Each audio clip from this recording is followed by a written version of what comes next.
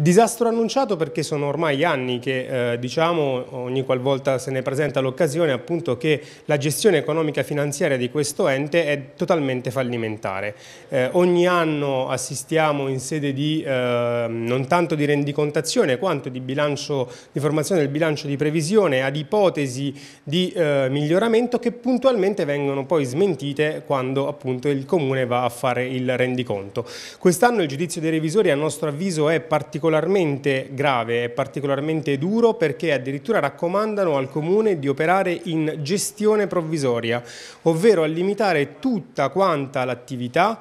si potrebbe dire all'ordinaria amministrazione, ma sarebbe scorretto anche utilizzare questo termine. Il Comune dovrà semplicemente limitarsi a pagare le obbligazioni che ha già assunto, non ne potrà assumere di nuove se non quelle strettamente necessarie a non causare danni erariali all'ente, dovrà limitarsi a pagare eh, il personale, gli stipendi al personale dipendente e assolutamente non potrà quindi dare seguito a tutte quante le eh, linee programmatiche che appunto eh, il sindaco ha presentato alla cittadinanza nel momento in cui è diventato nuovamente sindaco. Cercheremo nei prossimi giorni tra interrogazioni e mozioni di metterli un po' alle strette spalle al muro affinché appunto eh, gli uffici comunali vengano al più presto riorganizzati perché